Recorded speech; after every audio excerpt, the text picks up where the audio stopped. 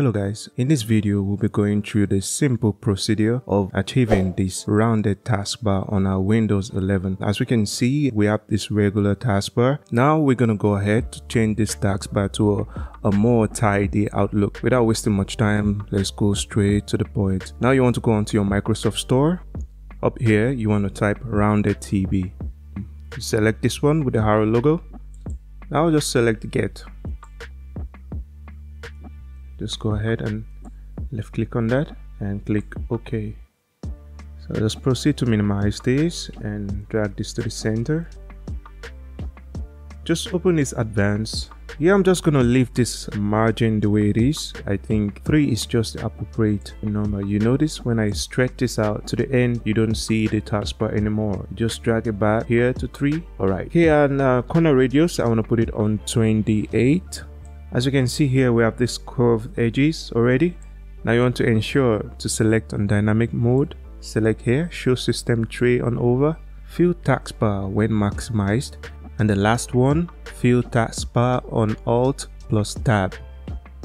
Having done the setting, all you have to do is to select apply. As you can see, we have this beautiful taskbar just at the center here. Now if you look back here and if I uncheck this and apply you're gonna see this on the right side it's important to select this show system tray on over and just apply it because all you want to see is this one on the center you know by the time you're over onto the right you get to see the remaining part of your taskbar and if we look at this translucent TB compatibility this used to work before but um, now it's not compatible anymore. So you can just leave this one unchecked. Everything else is fine. So just exit.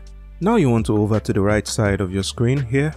Select this arrow up and uh, on this on this rounded TB icon just right click on here and check on this run at startup. By doing this your rounded taskbar is automatically activated every time you restart your computer. One last thing, you might be having issues whereby your taskbar is not centralized, okay? Some issues whereby it's on the left instead of the center. In this case, you just go here, just search for your taskbar settings. So open your taskbar settings. On the taskbar setting, just scroll down here. On the taskbar behaviors, just expand this. Go down to taskbar alignment. Here you want to go down here and you're going to make your changes here. As you can see, when I choose left, the taskbar goes to the left. So when you have this problem, all you have to do is to just come here and choose center, all right? Now we have this clean and tidy taskbar. That's all about this video. I hope this helped you. Remember to subscribe to this channel. Um, leave us a comment in the comment section. Turn on your notification, okay? Um, have a good day and peace.